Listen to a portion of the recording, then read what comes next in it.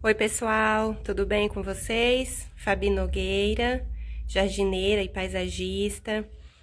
Gente, hoje vou fazer um videozinho aqui bem curtinho, mostrando essa princesa que eu separei hoje aqui para polinizar. Gente, é, vou polinizar com, vou mostrar aqui, com essa princesa vermelha dobrada. Olhem isso, gente, imagina que coisa linda que vai dar. Apesar da gente saber que, é, mesmo a gente sabendo, né, a origem, quem é, é, as matrizes, ainda assim a rosa do deserto é surpreendente, né?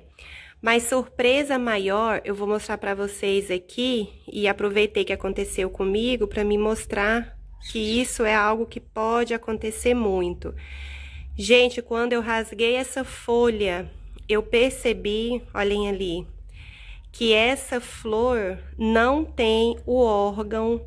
A gente fala que o que doa, que o pólen, né, é o órgão masculino e quem recebe o ovário é o feminino, né? Então essa flor, podem perceber, gente, ela não tem, olhem ali, ó, o cabelinho da onde a gente abre para tirar o pólen. Porém, gente, mesmo dessa forma aqui, eu vou poder, ó, se eu vou tentar focar bem para me mostrar para vocês.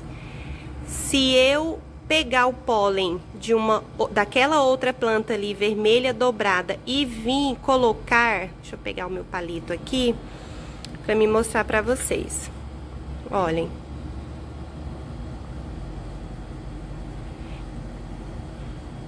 Sei se vocês vão conseguir perceber bem.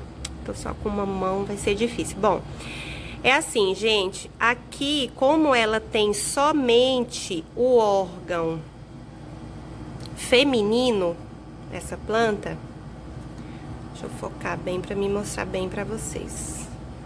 Como ela tem somente o órgão feminino, que é esse aí, eu vou vir justamente nesse lugarzinho aí aonde eu iria tirar o pólen, gente, e vou colocar, estão vendo aqui, ó, se vocês abrirem uma rosa do deserto de vocês e estiverem assim como essa minha, somente com o órgão é, feminino de receber, você vai perceber que aqui assim, ó, quando você encostar nela, ela tem o localzinho para você colocar o pólen. Então, ela não vai conseguir te dar pólen, mas ela pode é, ser mamãe recebendo aí o pólen no ovário. A gente fala o ovário feminino da, da flor, né? Gente, isso pode acontecer é, em um tanto de flor desse, e aí eu vou deixar isso como dica para vocês, Antes de rasgarem a flor, observe, ó, vou mostrar aqui para vocês que não é todas. Olhem essa daqui, ó. Lá dentro você vai perceber que ela tem aqui, ó, os pelinhos aonde eu vou poder abrir e tirar o pólen. Eu venho em uma outra. Olhem essa. Essa só tem também o órgão, o ovário da planta, né? Ela não consegue me dar pólen. Olhem essa outra. Essa outra, tudo normal lá dentro, olha. Tem lá, né, o buraquinho lá embaixo, o ováriozinho para receber.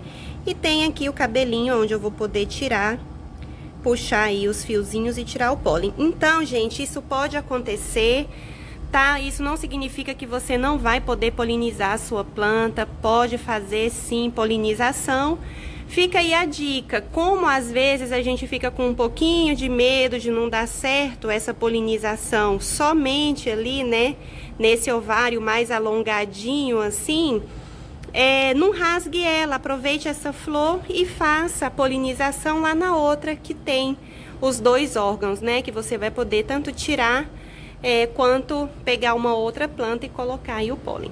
Tá bom, pessoal? Então, não se assustem, isso pode acontecer, é normal. Escolham outra, tá bom? Peguem uma outra florzinha aí, isso é uma anomalia, isso acontece, é normal, tá? Isso a gente que produz vê direto em flores das rosas do deserto. Um abraço, pessoal. Tchau, tchau.